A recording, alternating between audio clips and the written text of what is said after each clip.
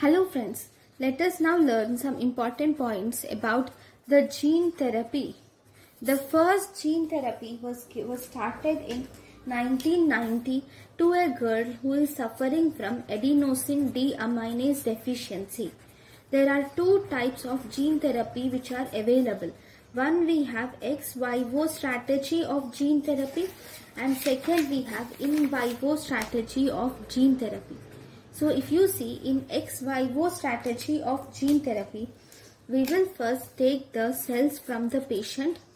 Okay, we will take the cells from the patient and we, we will see the cells with defective gene. Okay, and to these cells we will add the retrovirus which is carrying the normal gene. This is the retrovirus with normal gene.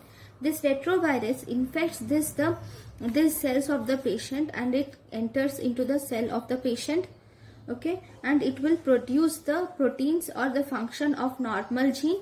And thus these genetically combined cells are now given or trans are given back to the or injected back to the patient.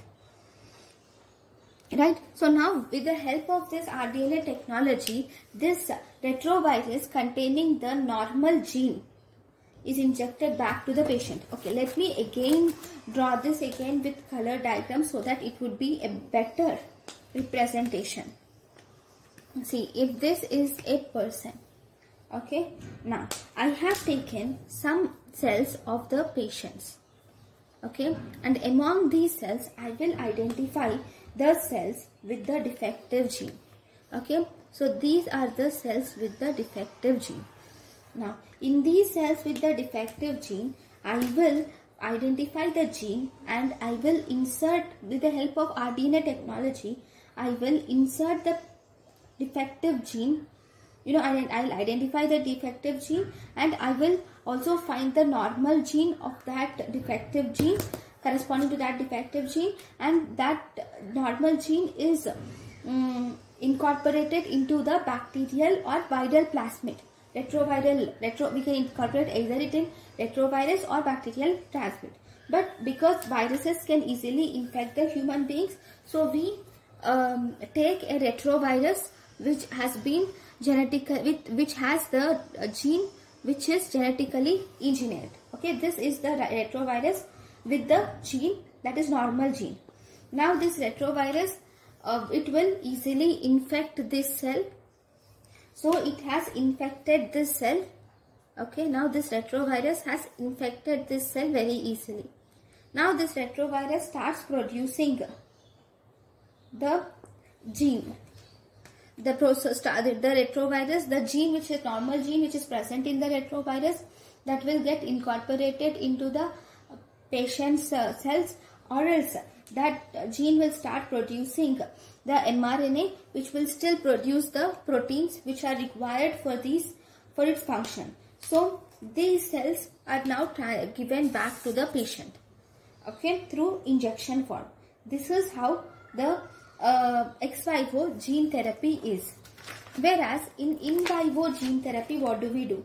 In in vivo gene therapy we will have some viral delivery systems or without viral non-viral delivery systems we will uh, change the viruses and we will infect the or inject the viruses to the patient. Here we are injecting the cells okay which are modified to the patient.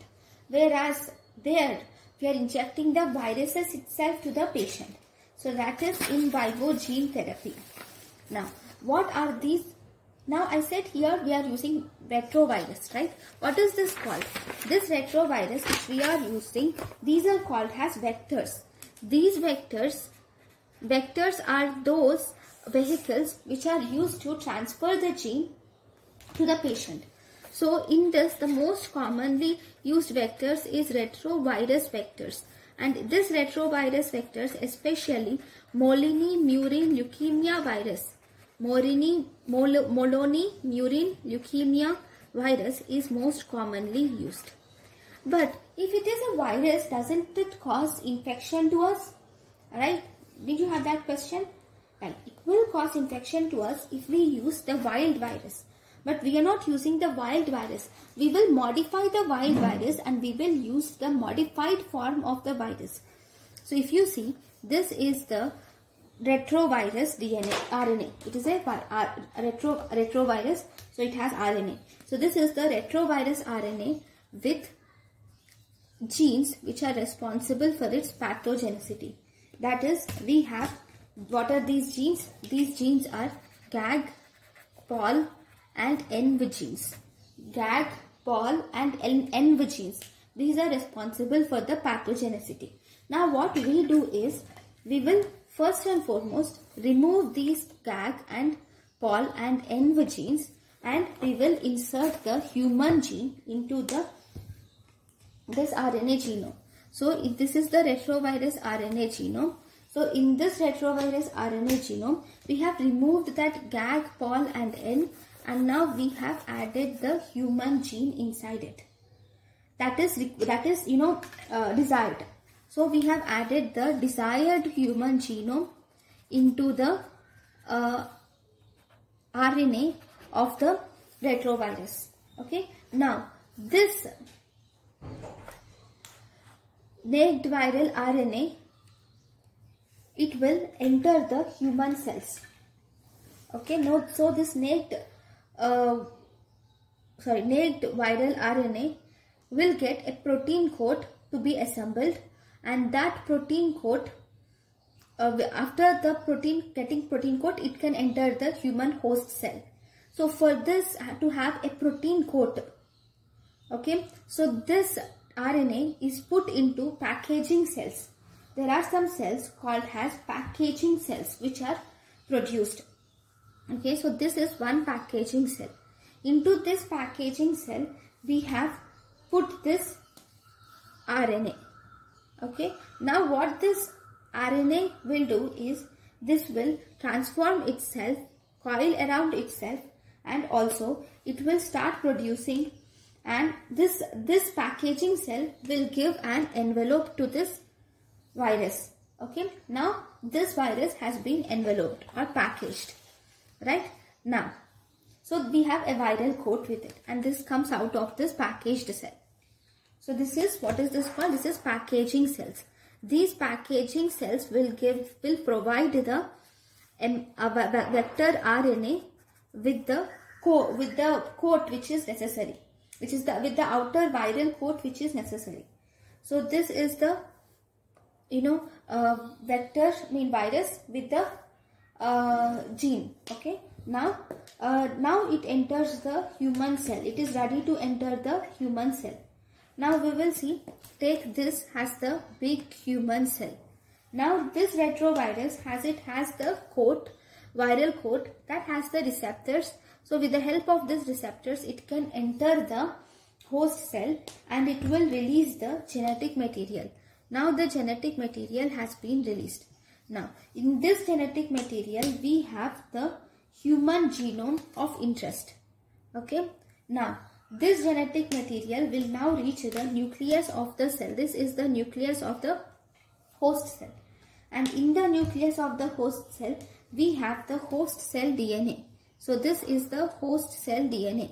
Okay. So in this host cell DNA, this part of the um, you know viral DNA will get incorporated and definitely if you see the viral DNA has the desired human DNA right so as a result even the desired human DNA is also incorporated right so with this process we have got that uh, DNA or that genome which is deficient in these cells can be incorporated by incorporating the human genome into retroviral RNA.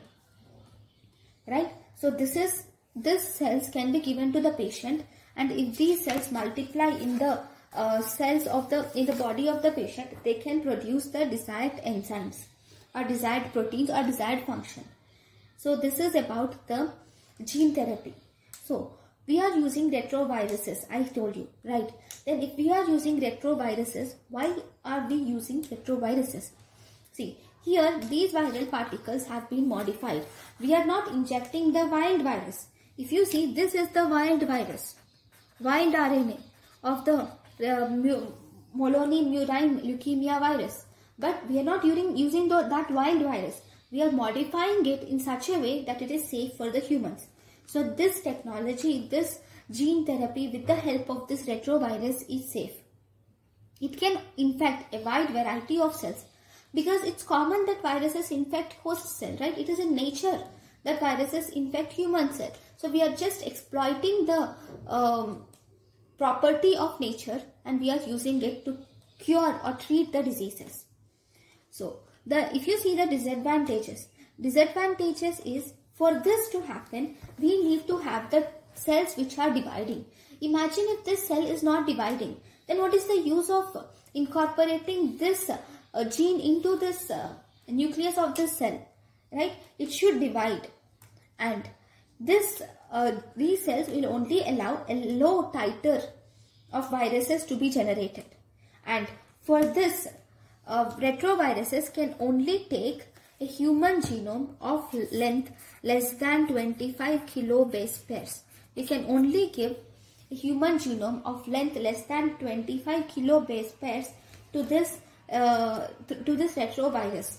So that is the main disadvantage. So thank you guys for watching my lecture. Thank you.